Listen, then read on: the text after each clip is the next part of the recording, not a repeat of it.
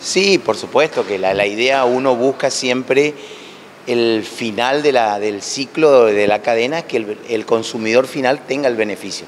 Por suerte, fue una semana de, un tope alto, pero empezamos a la caída de los precios por el consumo, ¿cierto? No hay consumo. Entonces empezó a acomodarse un poco los precios hacia abajo, que es lo más importante. ¿Ustedes sienten que puede empezar de alguna manera a sincerarse ¿no? Eh, los incrementos necesarios que se dieron en su momento por lo que se venía manejando?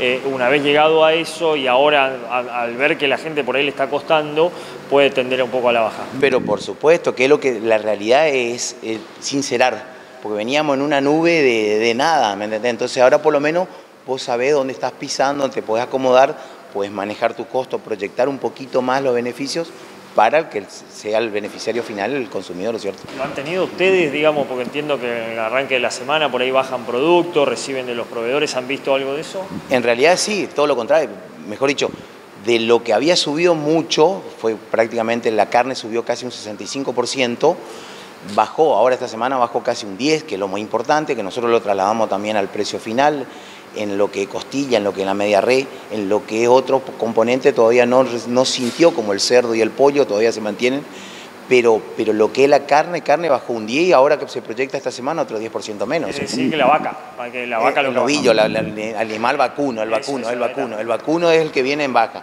Tanto como está cortada un poco la exportación, hay mucha oferta de, de carne y no hay consumo, porque el consumo decayó mucho, ¿cierto? ¿Y han visto eso ustedes? Hablas, Juan Carlos, precisamente del descenso. Porque estamos en una época del año donde uno dice, bueno, la, venta por ahí suele que solía crecer porque bueno el asado, reuniones de fin de año y demás. ¿Ustedes han visto que, que ha bajado? Sí, mucho, mucho, mucho, mucho. Eh, me armó a, casi un 50% a lo que nosotros habíamos preparado el año pasado. El año pasado vendimos excelente, digamos. Había un poquito más de fluidez de dinero. Hoy el dinero se nota que no alcanza porque los números son muy altos pero la merma fue significativamente abrupta a, la diferencia de hoy, ¿cierto? Es tremendo la baja. Ustedes de todas maneras, como decía, bueno, también aquí en el negocio lo que tratan es eh, de hacer que esto llegue a la gente. Lo importante para ustedes eh, eh, es vender, porque por ahí existe la creencia de que tratar de ganar demasiado y demás, esto no, no pasa, digo, eh, a nosotros nos llega y ustedes que son los, comerciantes los que reciben de, los precios tratando de hacer que, sea accesible para la gente. Y esa es la idea, la idea nuestra siempre es traspasar el beneficio al final, no porque seamos la, última cadena, porque siempre echan la culpa al comercio al final. El comercio busca vender, yo no, yo no me quiero retener mercadería porque no es mi negocio, mi negocio es vender y vender mucho más. Yo lo que busco es siempre eso, el beneficio sea al final, al final que el consumidor, que el que nuestro jefe, en realidad nuestro jefe es el que nos pone la plata. Entonces los chicos siempre tienen la preferencia del final y buscamos traspasar a ese el precio. Calidad y precio que son los fundamentos. ¿viste? Te pregunto, te consulto, algún número eh, que pueda tener, que se va a encontrar la gente, sobre todo porque viene, insisto, la fiesta de fin de año y de comienzo de enero. Y fíjate que nosotros estábamos teniendo la costilla a un precio muy alto porque teníamos un costo, que la, vamos, la base costilla hoy el lechón, por ejemplo, se mantiene en, en 6.500 y 7.000 pesos, un lechoncito promedio. La costilla estaba en 9.000, que estaba en 12, había llegado a un techo de 12, bajó a 9.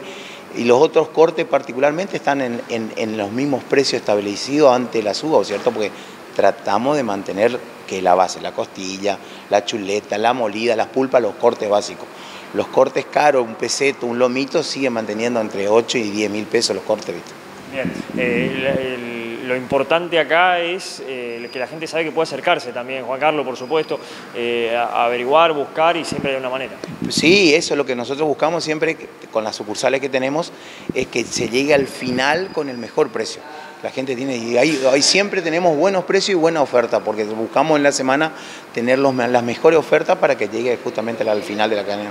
Estamos aquí en la, Avenida Urquiza, que es una, sucursal, eh, nueva. nueva. Nueva, exactamente, una sucursal nueva, que la abrimos hace poquito, la compramos al fondo, eh, pero todas las sucursales están con el mismo precio, con la misma calidad y la misma atención.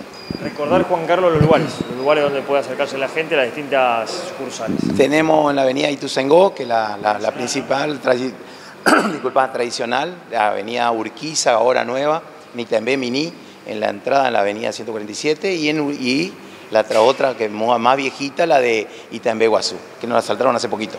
¿Ah, sí? Sí, sí, nos pegaron una limpieza total, fue antes del 23.